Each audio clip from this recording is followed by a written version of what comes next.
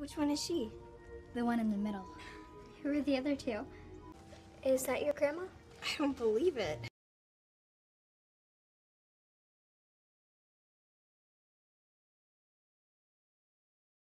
We never should have left the path. Bear or snake. Are and it's going to be dark soon. This Calm down. We'll be swimming before you know. Cut it out. No. Chosen for what? To be what kind of power?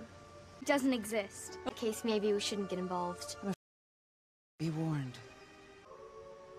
You can bring.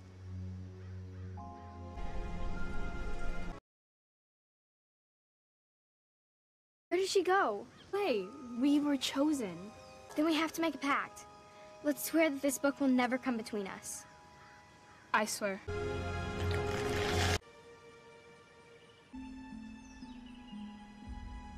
What is this? What does it do? Nothing by itself. That sounds powerful. Why are you giving it to us? You will never need to use them. But in case.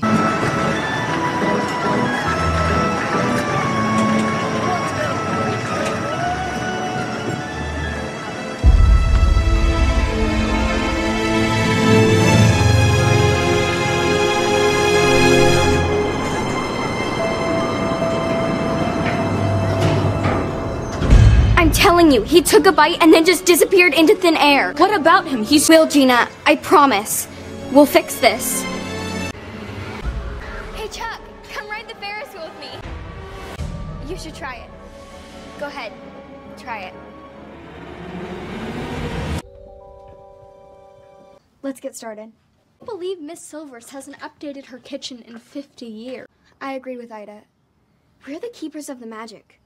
We have to keep it safe. They had to mix everything by hand. Like the apples that they sell at the festival. What's going to happen after he eats the apple? But not about us, right? Ida, What? Chuck's not as bad as you two think. Or that it was Chuck's fault. I don't want us to fight. Please. Why was he messing with Mama P's? We can finally have a carefree summer of fun. Ready for this? Do I have a choice? I'm the only one that he trusts. It's going to be fine. We'll meet you at Corky's after the festival. For me, he disappeared into thin air. What if he never comes back? We're only in. He's gone with my Morbium seed and now. Spike the apple. What? I didn't do it. Prove it.